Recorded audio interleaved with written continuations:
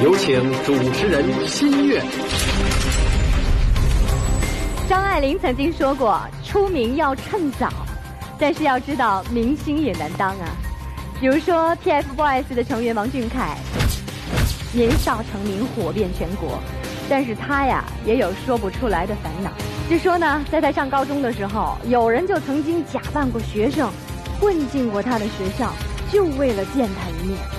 可见这成名呢，还真是一把双刃剑，在收获鲜花与掌声的同时，也得学会面对各种各样的烦恼。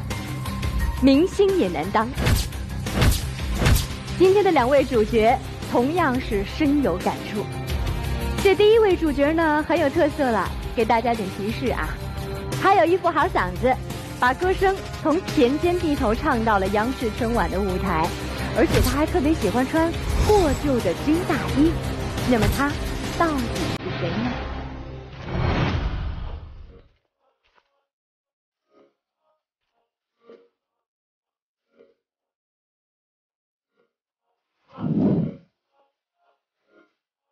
一身破旧的军大衣。一副浑厚的好嗓音，一夜之间，农民朱之文变成了大衣哥。他从田间地头唱到央视春晚，他从一无所有唱到身家千万，意外走红，究竟为他带来了什么？矛不断，大衣哥为何一筹莫展？有请本期主角。